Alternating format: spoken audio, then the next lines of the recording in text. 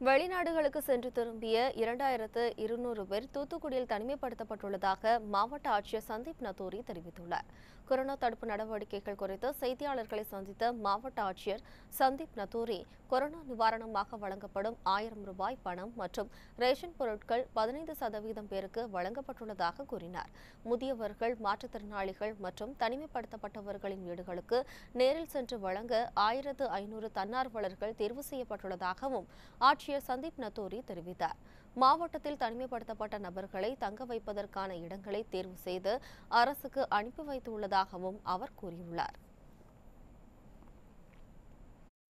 Ration பொருட்கள் வழங்குறது திட்டம் நேற்று தினம் வந்து சிறப்பாக நடைபெற்று வருகின்றது. ஏற்கனவே நேற்றுக்கு நம்ம ஒரு பணி பதினஞ்சு பர்சன்ட் வரை எல்லாருக்குமே வழங்க கா ஆயிரம் ரூபாய் பணம் மட்டும் இல்லாமல் ரேஷன் பொருட்கள் எல்லாமே வழங்கப்பட்டுள்ளது.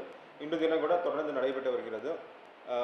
முக்கியமாக நம்ம முதியோர்களுக்கும் மாற்றுத்திறனாளிகளுக்கும் அதே போல் குவாரண்டைன் செய்யப்பட்ட நபர்களுடைய வீட்டில் நேரடியாக இந்த பொருட்கள் கொடுக்கறதுக்கு ஆயிரம் ரூபாய் கொடுக்கறதுக்கான ஏற்பாடுகளோட நம்ம மாவட்ட நிர்வாகம் சார் பண்ணிட்டோம் நம்ம வாலண்டியர்ஸ் கிட்டத்தட்ட ஆயிரத்தி ஐநூறு வாலண்டியர்ஸ்க்கு அப்பாயிண்ட் பண்ணி அவர் மூலமாக இந்த பொருட்கள் எல்லாமே கொடுக்கறதுக்கான ஏற்பாடுகளோட நம்ம மாவட்ட நிர்வாகம் சார்பாக பண்ணிட்டோம்.